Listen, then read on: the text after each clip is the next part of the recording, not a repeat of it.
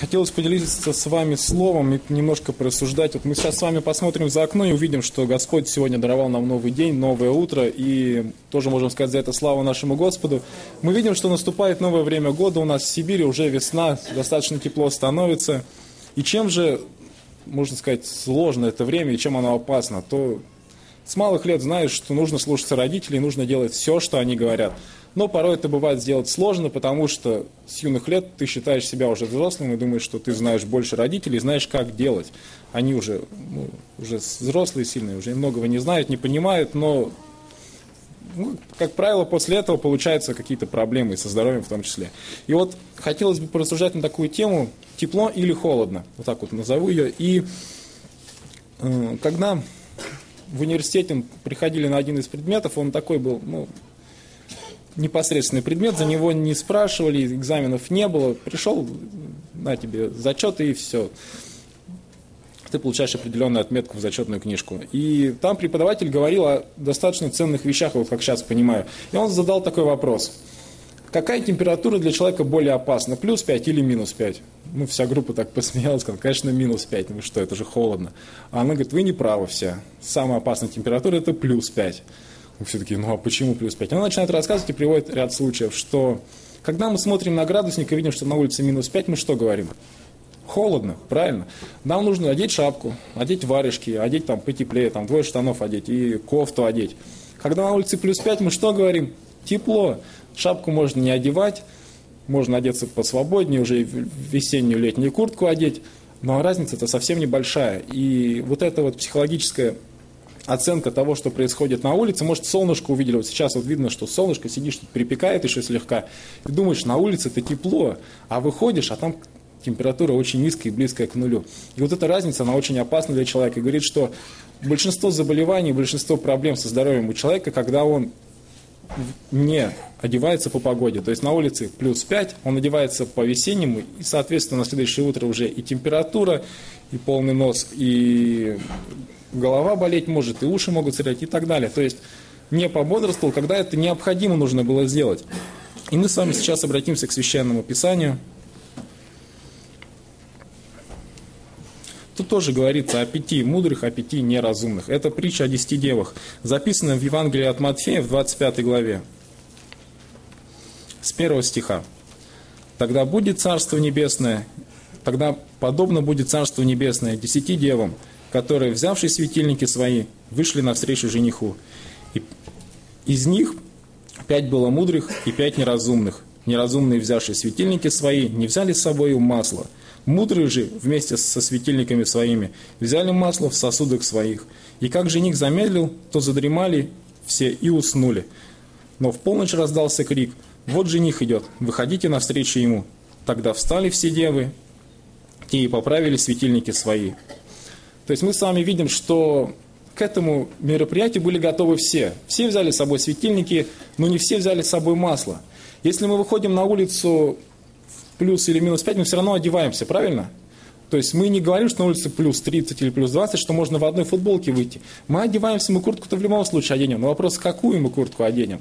То же самое было у 10 девок. Одни знали, что нужно с собой взять масло, а другие не знали, но светильники взялись все. То есть для нас это может быть таким прообразом, что приходя на служение, мы все приходим. Все пришли на служение, все здесь присутствуют, и сейчас все слушают. Все вникают, все рассуждают, но все ли складывают это в свое сердце? Все ли готовы это применять и готовы изменять свою жизнь, что-то в себе находить? То здесь, как мы видим в притче, не все готовы. Пять были не готовы к тому, что масло может закончиться. Пять были не готовы к тому, что придут сложности определенные, придут трудности, температура, когда ты выходишь на улицу днем в плюс 5, возвращаясь вечером, она может стать уже минусовой. И тогда ты понимаешь, что уже и холодно, уже и что-то надо делать, уже и двигаться надо быстрее. А иногда возможности такой нет, и ты можешь замолеть. Также и духовный человек, когда надеется на то, что все в жизни будет складываться хорошо, он может попросту перестать бодрствовать и сказать, что у меня сейчас все хорошо. Я сейчас хожу на служение, пребываю в общении с верующими, у меня все хорошо складывается. Я могу Библию читать уже не два раза в день, не три, а один раз достаточно. А бывает, что и несколько раз в неделю. И этого достаточно будет. У меня в жизни ничего не меняется. Но как Священное Писание говорит, что Царство Божие будет подобно десяти девам. Пять мудрым и пять неразумным.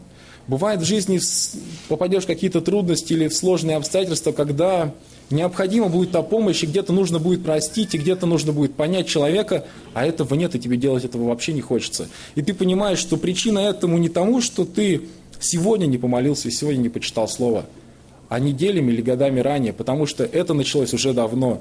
Где вы пришли задолго, ну, заранее, перед тем, как пришел жених, они были, у них было время приготовиться, сходить еще купить, но они, как Библия говорит, они задремали. И настало то время, когда они попросту об этом забыли, что у них масла нету.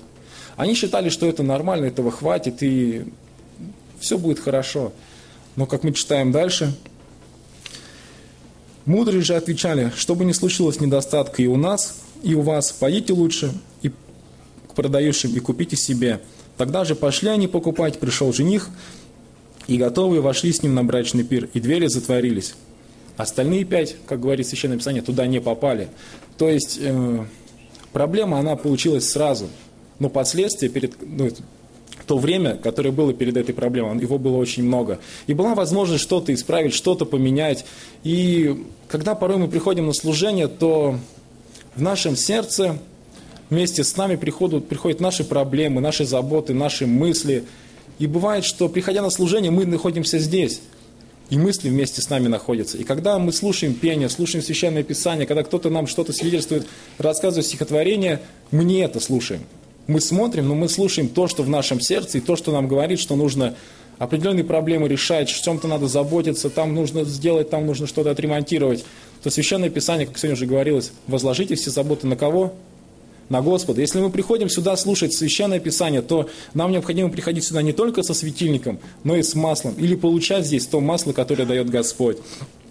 И еще зачитаю из Священного Писания, это Евангелие от Луки, 21 глава,